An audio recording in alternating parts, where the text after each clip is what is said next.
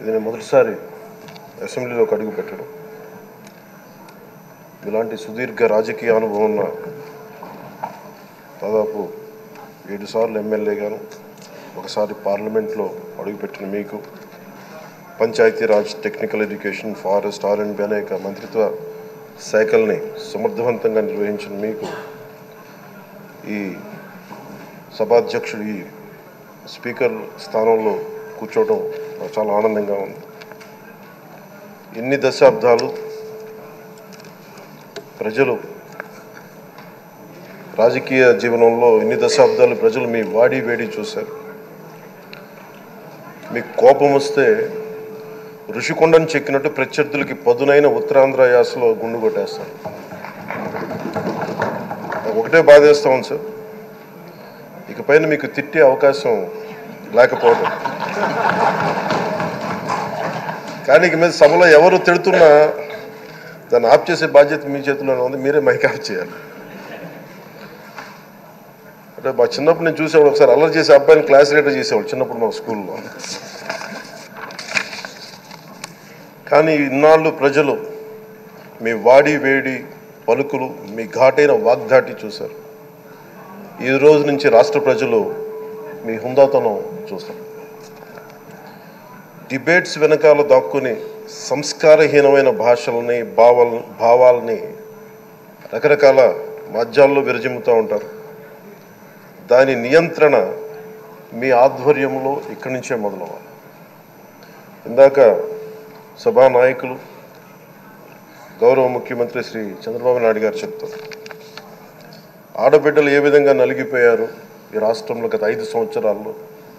చిన్న లేదు పెద్ద లేదు ఎవరని లేదు. ఎవరన్నా సరే ఒక మాట మాట్లాడితే వాళ్ళు వ్యక్తిగతంగా దూషణ సోషల్ మీడియాలో వాళ్ళని క్యారెక్టర్ అసాసినేట్ చేయటం వాళ్ళు పెద్ద నాయకులు కావచ్చు కార్యకర్తలు కావచ్చు లేదా వాళ్ళకి ఎదురు తిరిగి ఒక ఒపీనియన్ చెప్పి ఎవరైనా స- సగటు మనిషి కూడా కావచ్చు.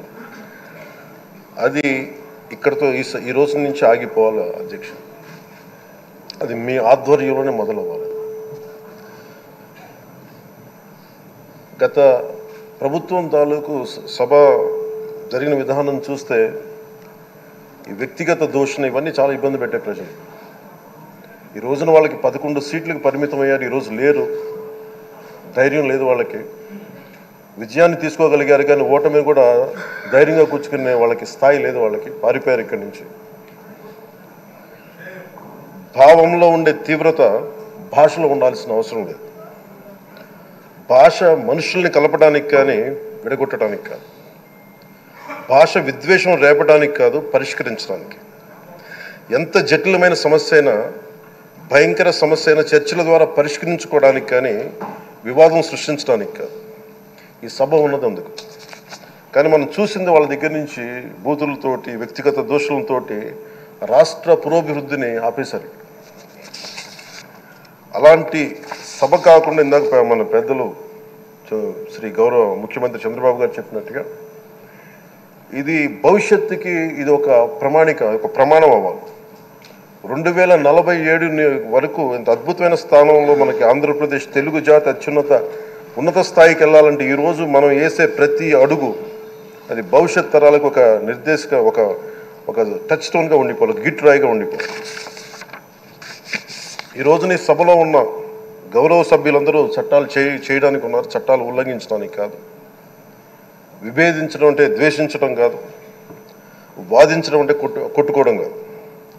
ఇవన్నీ విభేదించడం వాదించడం ఇవన్నీ ప్రజాస్వామ్యానికి చాలా మౌలికమైన పునాదులు. ఆంధ్రప్రదేశ్ ఆవిర్భావం జరిగి అసలు భా ఆవిర్భావం అసలు భాషా ప్రయుక్త రాష్ట్రాల ఆవిర్భావమే మన ఆంధ్ర రాజ్యంతో మొదలైంది. అమరజీవి పొట్టి శ్రీరాములు గారి బలిదానం మీద మన రాష్ట్రం పుట్టింది. యాభై ఆరు రోజులు తిండి తిప్పలు తినకుండా నరకం అనుభవిస్తూ ఆయన బలైపోయారు. ఆయన మరణానికి చేరువవుతూ ఆమరణ నిరాహార దీక్ష చేసిన ప్రతిరోజు మనకి దాదాపు ఈ సుదీర్ఘమైన ఎనిమిది ఆరు దశాబ్దాల కాలం ఒకటిన్నర సంవత్సర కాలం అంటే ఆయన ప్రతిరోజు చావుకు చేరువవుతూ భోజనం లేకుండా ఆయన గడిపిన ప్రతిరోజు మనకి ఒకటిన్నర సంవత్సర కాలం.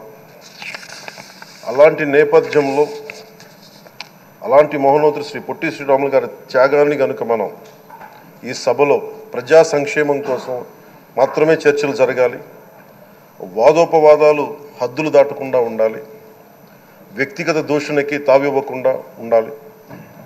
అలా కాకుండా గత ప్రభుత్వంలాగే ఈ సభని తిట్లకి బూతులకి కొట్లాటికి వాడే వాడితే ప్రతి నిమిషం పొట్టి శ్రీరాములు గారి బలిదానాన్ని అవమానం చేసినట్టే.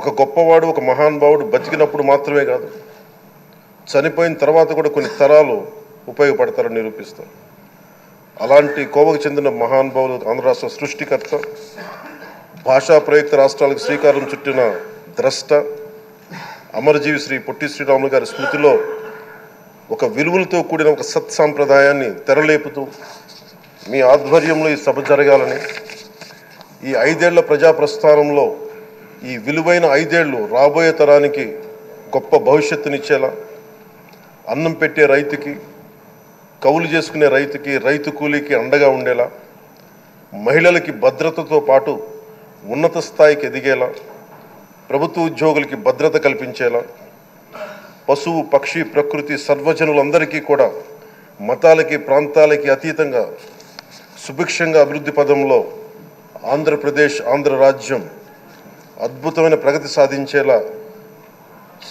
ఈ చర్చలు సాగాలని కోరుకుంటూ సభాపతి అయ్యన్న గారికి అయ్యన్న పాత్రుడి గారికి మీ ఆధ్వర్యంలో ఈ సభ ఒక సరికొత్త సాంప్రదాయానికి సత్సాంప్రదాయానికి ఇది తెరతీయాలని కోరుకుంటూ మీకు మరోమారు శుభాభినందనలు తెలియజేసుకుంటాను గౌరవ మంత్రులు లోకేష్ గారు మాట్లాడతారు. స్పీకర్గా ఎన్నికైన ఆయన పాత్రుడు గారికి నా హృదయపూర్వక శుభాకాంక్షలు. ఆయన పాత్రుడు గారు అంటే అందరి పాత్రుడు. ఎప్పుడూ ప్రజల గురించే ఆలోచించే వ్యక్తి.